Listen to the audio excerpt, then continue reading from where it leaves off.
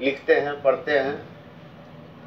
और, मैं शुरू से जब से आंदोलन, या जब स्टूडेंट लाइफ था, झारखंड आंदोलन के प्रति एक रुझान थी, और मेरे पिताजी बताया करते थे, जयपाल सिंह के बारे में भी।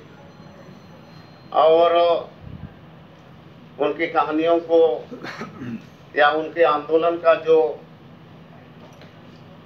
रास्ता था। और हम लोग कभी कभी मैं तो 1973 से आंदोलन में आया, तब तक जयपाल सिंह इस दुनिया में नहीं रहे।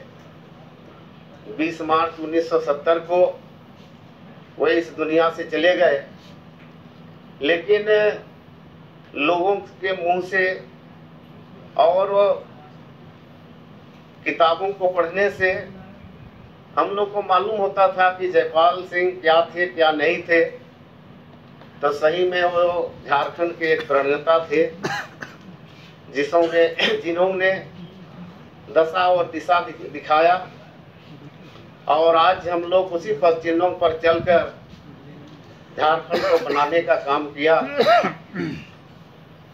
और मैं जयपाल सिंह का जीवनी कहने के पूर्व में जाना चाहता हूँ और पीछे हमें जाना होगा कि बिरसा मुंडा का जो आंदोलन था उलगुलान जो उन्होंने कहा था कि अबुआ दिसुम अबुआ झारखंड अबुआ राज।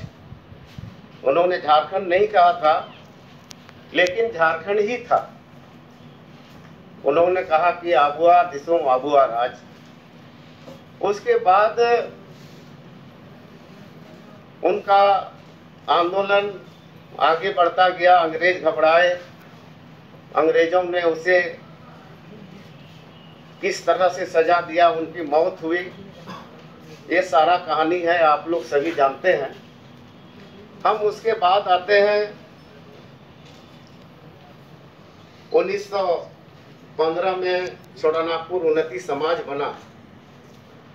और उन्नति समाज में उस समय के जो नेता थे, मैं उन लोगों का नाम यहाँ लेना चाहता हूँ, इसलिए कि जयपाल सिंह का आज हम लोग उस किताब का विमोचन, लोकार्पण समारोह में बात कर रहे हैं तो उन महापुरुषों का भी नाम आना चाहिए।